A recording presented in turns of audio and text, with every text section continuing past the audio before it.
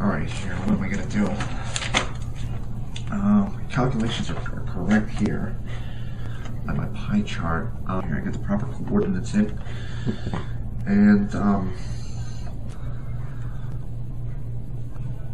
I think I'm gonna have to pick Nate Burleson.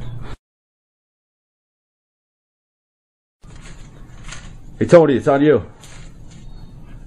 Oh yeah? Alright. What time do I got here then? Two minutes. Take a little shot in the dark here. I'm gonna take that Matty Stafford kid, alright? Do it. Oh hey boys, how are you? Oh, look who it is. So is. Late. We gave you uh, Sorry. we, we gave you Tom Brady and uh, Maurice Jones-Drew with your first two goody, picks. Tom Brady. He's got a cute little dimples he's got there. Oh. It's the third round. You're on the clock. Who do you want? Who do you want? Who do I choose next? Maybe somebody big and strong like T.O.